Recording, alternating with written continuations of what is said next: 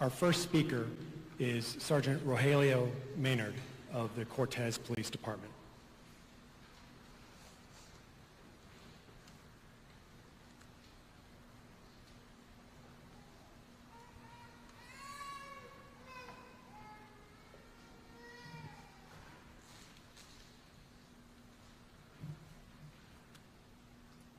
You know, like, I'm looking out here and all I can say is wow. Um, and knowing Mike, he wouldn't have thought in the world that there'd be this many people out here to show him love and support to him and his family. So on behalf of the police department, we appreciate you guys being here.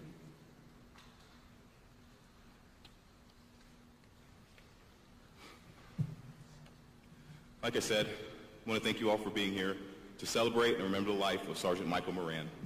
I'll always remember Mike as a man who found true happiness in his last days. Although Mike had a very interesting and unique personality, we all knew Mike would always have our backs. Mike was born July 6, 1977 in Rochester, Pennsylvania. He's the second child of his father, James Tommy Moran, and his mother, Angelica Moran, who passed away October 23, 2007. Mike first served his country in the United States Marine Corps. Mike, excuse me, Mike was a Marine sergeant who served as a radio, field radio operator. His service also included two tours in Iraq. While in the Marines, Mike met his wife, Kimber James. Mike and Kimber had two beautiful children, two beautiful daughters, Catalina and Novelyn Moran. While Mike was gone in his first tour in Iraq, he received the best news a man could hear, that he was going to be a father for the first time.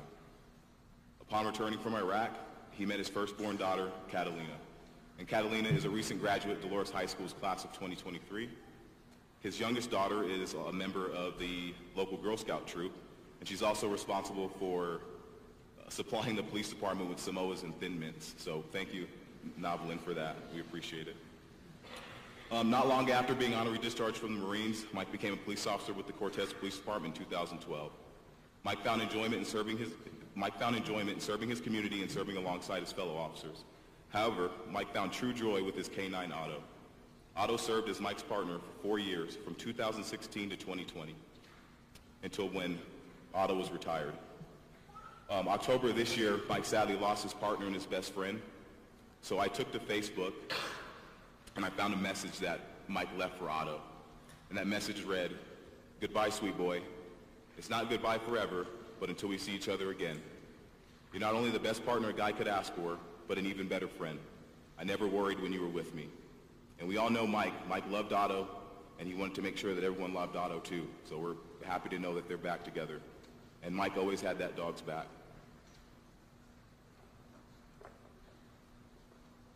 Today we lay to rest a hero, a great man, a father, a son, and a friend to many at the Cortez Police Department. The last few weeks I got to spend with Mike were very special to me. I got to see him in a different light. Mike figured something out about his life and he found true happiness. He even took it upon himself to try new things, like smiling when people would greet him. He uh, started using more than two words to complete a sentence. And this one's going to be a shock to a lot of people. He tried new foods, um, vegan soup. So Carrie, thank you for that.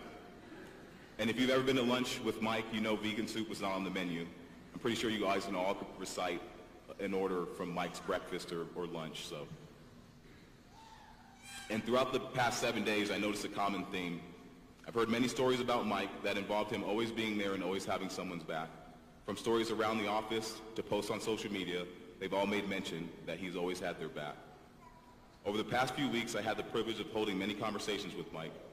And at the end of every conversation, Mike would tell me one or two things. He would say, Raj, he'd say, Raj, I'll always have your back. Or he'd place his hand on his vest, right above his pocket knife, and he'd say, Raj, you know I'll shank you.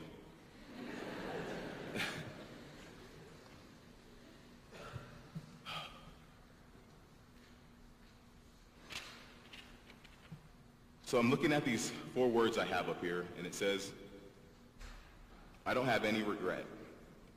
And I had the privilege of hanging out with some guys last night that I hadn't seen in many years. Uh, Brian Perry was one, Mark Atkins, Gary Gatsky, and some old guy that they call Uncle Larry. I don't know who he is, but you know, it, it made me think when I got home that night that I, I do have regrets.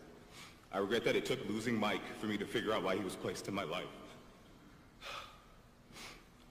Sorry, Mike, I'm trying to keep my bearing, but Mike wanted me, to- he wanted me to be a leader of high integrity.